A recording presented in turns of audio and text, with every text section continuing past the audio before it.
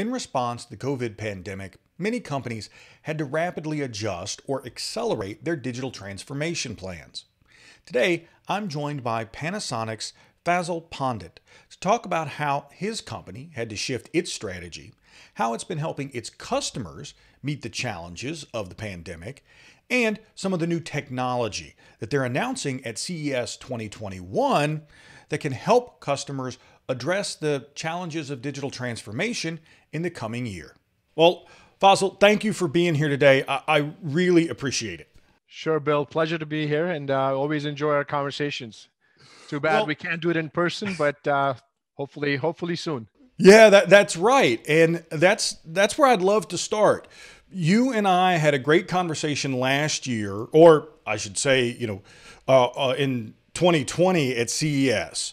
And we were talking about digital transformation, both about what Panasonic had been doing and was doing internally, but also how you were helping your customers achieve their digital transformation goals. And I don't think either of us um, knew how important those efforts would be in the wake of the COVID 19 pandemic and how companies would have to, you know, dramatically accelerate their digital transformation plans.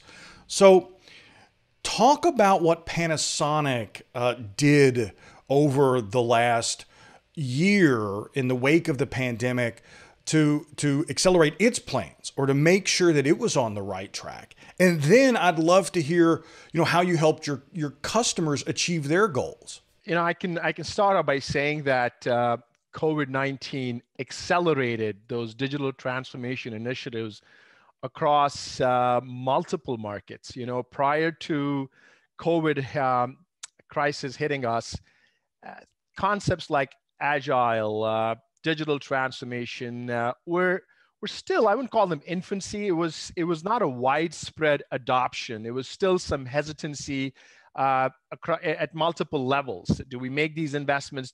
Are we ready uh, for the do we for the returns? Should we should we hold off? But COVID kind of changed the dynamics in many ways, and I'll I'll talk about some specific uh, market uh, scenarios that we dealt with.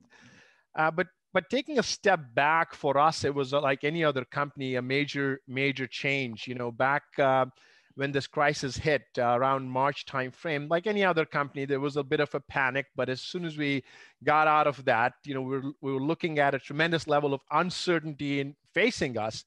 Uh, but what what worked well was uh, we were able to sort of prioritize uh, things. We said, well, customer are important. So we need to focus on customers. We need to make sure that we they're able to sustain their operations. They're able to continue with their business as much as possible. Number two, and in no particular order, was uh, safety and well-being of our employees. We didn't want to put them in any kind of difficult situation. And uh, number three was uh, our focus on continuation of uh, our key initiatives, investing in the long term of the business. So coming back to the customer part, about 30% of our business comes from, um, and I'm speaking about the, the system solutions business that I, that I run. Uh, about 30% of our business comes from government sector, public, uh, public safety, federal, frontline workers, essential services. So it's extremely critical, extremely important for us to make sure that there's no disruption on that front. It wasn't just catering to the needs of a, a certain customer space. It was it was helping manage the COVID impact. So then, um, as far as the employee safety was concerned, uh, it was important for us to move, our, um, move to a, a remote working model as efficiently as possible. And uh, surprisingly, we did it, we did really well. In a matter of days, we were able to take the entire workforce remote without any major disruptions. There were obviously some uh, startup issues, but we're able to work through those issues fairly uh, well. And uh, if you would have asked me at the last CES conversation we had, can you imagine taking your organization remote in a matter of few days? I would have said in, in a matter of seconds, I've said, no, that's not possible. But we did it. And that's a reflection of the agility of the organization. That gives us a lot of confidence in that innate ability that we have of being agile. And that would send a very strong message to the organization. And lastly, the invest the the investment in the future was really critical because the sort of the typical reaction in such situations is let's wait and watch. Let's hold on the stay on the sidelines and then deal with things as they happen.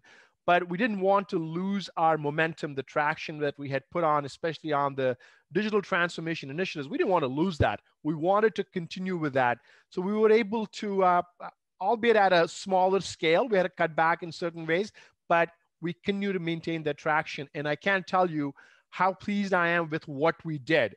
We also set some um, some worst case expectations from a from a business point of view just to make sure that we don't have to go back to our employee base again and again. We don't have to go back to our customers and create any kind of major disruption. Eliminating uncertainty was a key focus area for us because we wanted to make sure our customers know what we what we can deliver and we communicated that up front with full transparency our employees knew what uh, what they would have to deal with we made sure they understood that. And thereafter, it was all about execution. Fortunately, things improved over the months, and uh, that helped us uh, continue our traction on some of the key areas that we had outlined for us. Now, as far as the impact on customers and the markets, uh, to my earlier comment about how this how this COVID experience kind of accelerated the transformation in the markets. So uh, one of the biggest, uh, one of the, the best cases of that transformation was the food services industry. You have restaurants have shut down, you can't dine in, but you still got to eat. So you still got to make it happen. So delivery and pickup uh, services increased drastically. And again, because of our focus on that market for many years, because of our belief that that market is is ripe for digital transformation. That market, in order for it to sustain in the long run, has to adopt a different set of practices. We had already put some initiatives in place. For instance, our focus on drive through efficiencies through our ruggedized uh, Toughbook devices, ruggedized tablets.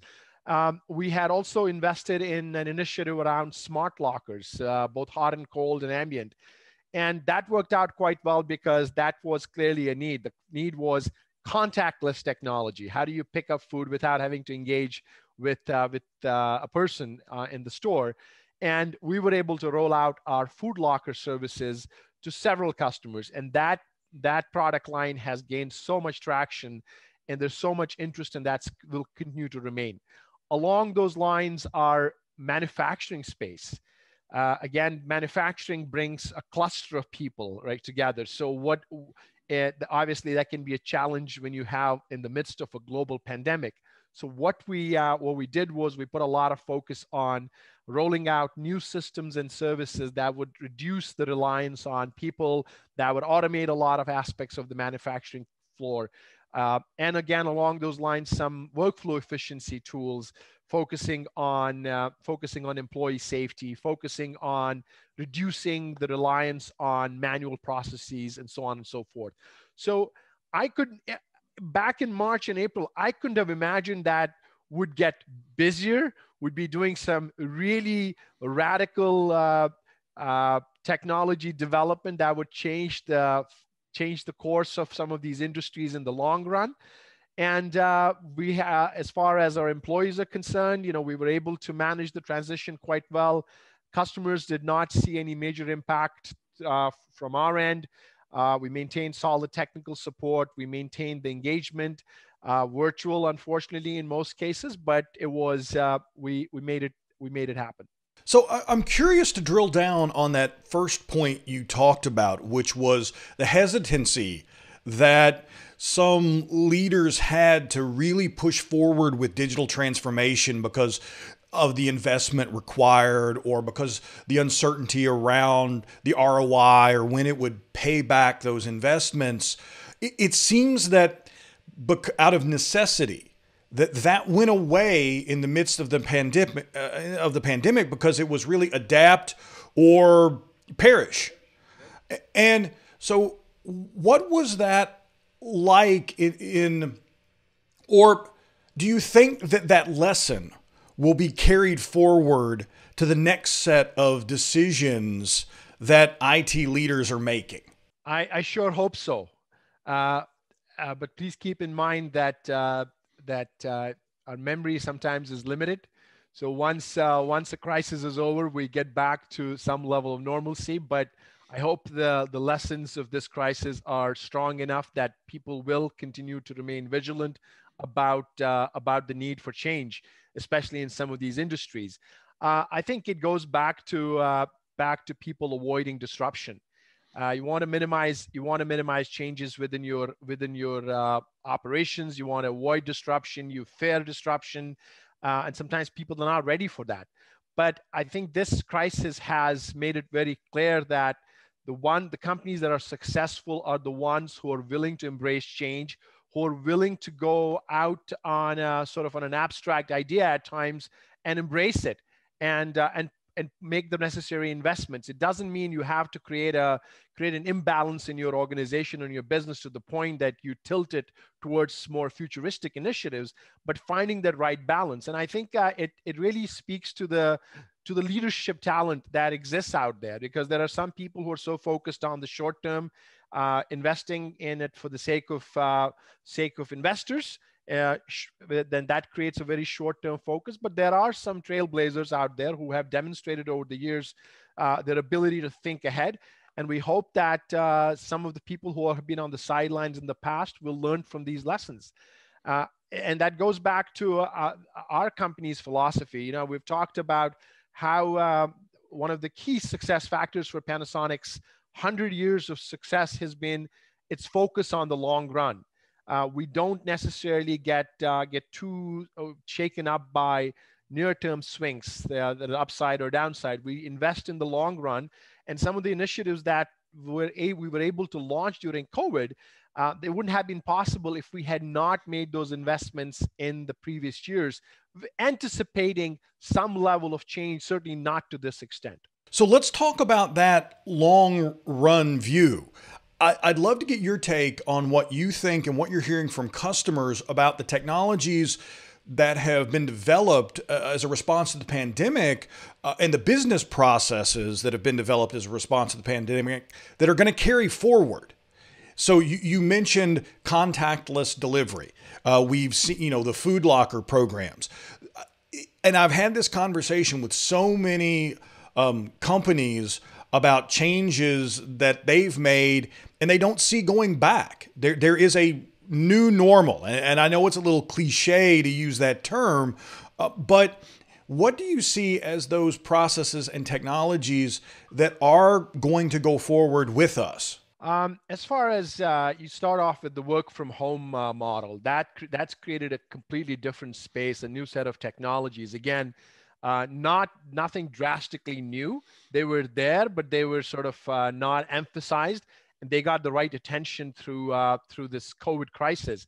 Um, you have collaboration tools. You have uh, you have remote communication tools that are going to be a strong focus going forward. Even I don't expect uh, everybody to work from home uh, forever. I think there will be hybrid model, but there will be more focus and emphasis on on the ability to use technology for collaboration, on the ability to use technology for remote communication. For instance, on the remote communication side, we've had significant investments from various parts of the markets, house of worship, education, in building infrastructure for remote communication. Now, once we get back to normal, they're not going to pull that apart but what they're going to do is take you to the next level. The experience, it's going to be more of an immersive experience. So far, given the limited time we had, the focus was on delivering content in any way, shape, or form just to get job done.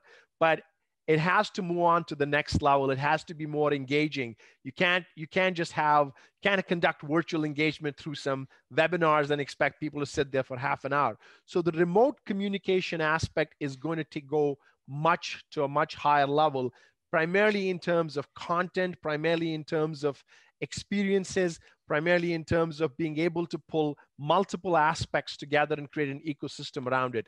For instance, we are working on an initiative around the education, uh, education delivery model obviously using our using our technology coupling that with uh, some lecture capture technology adding additional immersive content on top of that to change the educational experience. So that's more from a more from a collaboration, remote communication. Then we take it to the next level, sort of uh, in the field. Uh, I go back to what I talked about earlier the manufacturing space, the public safety space, and the food services. Food services, contactless technology is there to stay.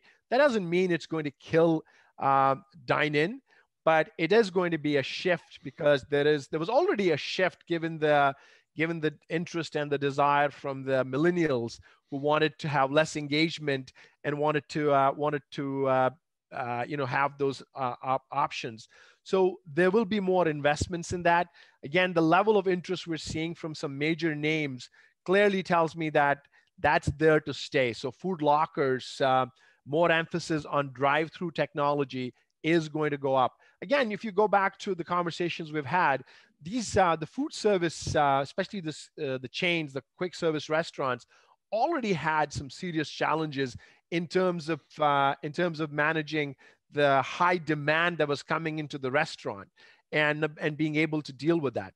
Um, so that is going to see a shift towards uh, emergence of ghost kitchens. So they are they are coming up at a very rapid pace. Uh, we are working with a major player in that industry, and I can tell you the, the rapid growth, store after store, and the adoption by some major retail outlets of the model has created a tremendous amount of opportunity. Now, when you talk about, for instance, Ghost Kitchen, which caters to the delivery and pickup uh, pickup needs, uh, the model is going to be really different. It's almost a technology-enabled uh, enabled setup. Uh, again, the, the the customer-facing aspects are not going to be that important. It's get get me the food ready on time and make sure I'm able to manage demand as efficiently as possible. So, what are you going to see in a ghost kitchen? You're going to see kiosks, you're going to see integrated mobile platforms, you're going to see food lockers, and so on and so forth. So, bringing all these pieces together would require uh, very seamless integration. And I think that's where we would see, for instance, the food service pivot towards. Um, on the public safety side, for instance, we've seen um, impact on funding, especially with tax revenues getting impacted during the during this year. We will see an impact on uh, on public safety initiatives at the state and local levels. So they are going to invest in workflow efficiency models to make sure that uh, they're they are efficient in delivering their in delivering their services. Again, um, we're seeing an uptick in the demand, and that demand is not going to be addressed through uh, through manual labor or through through uh, additional additional labor resources in in any way. In order for them to be competitive they need to continue to accelerate their uh, IT adoption and, and a broader digital adoption. Well let's drill down on some of those new technologies that that, that we've been talking about. What does Panasonic um, have coming up at uh, CES or what are you announcing at CES 2021 a lot of exciting stuff. You know, I'm disappointed we, we won't be there in person because I always enjoy the opportunity to interact with customers and talk about uh, so all the interesting things we're doing. But broadly speaking, you know, we're focused on uh, immersive entertainment, smart mobility, lifestyle wellness, food services. Again, areas that we identified as uh, as key focus areas for uh, for digital transformation. So on the entertainment side, we have a very broad portfolio of technologies that allows us to create these amazing experiences, whether it's in a stadium, whether it's in a museum, or whether it's um, Olympics. Uh, it, a very different set of uh, scale needs that can be managed through these technologies. So we're announcing uh, a partnership with uh, Illuminarium Experiences, uh, which is a digitally delivered global experiential entertainment brand that creates these uh, custom de- designed venues called Illuminariums and uh, the, uh, we'll be delivering our technology that is display projection technology and certain content and that would be a that would be a, a big part of our uh, of our launch at uh, at CES and we're very excited about that because again it extends the extends the reach of our immersive entertainment focus that has been very important for us over the last couple of years. Yeah along those along those lines uh, we have multiple announcements on our automotive side uh, we're announcing the next generation cockpit and cabin experience uh, with improved capabilities uh, on the in-vehicle infotainment systems and our e-cockpit. Uh, we're also uh, launching our augmented real- reality heads-up display through collaboration with certain partners, and our first truly wireless, ruggedized uh, automotive-grade video camera and wireless in-vehicle charging technology. So quite a bit of quite a bit of innovation continuing to roll out, and you've got to keep in mind that in spite of the COVID, uh, we've not we've not held back on that innovation because we believe that uh, believe that these are critical needs of the market. These are some uh, game changing innovations. Um, that are important and we're committed to them. Well, I really appreciate it. Um, thank you for spending the time again, as always. Hopefully, next year we'll be able to do this in person. My pleasure. Thanks again.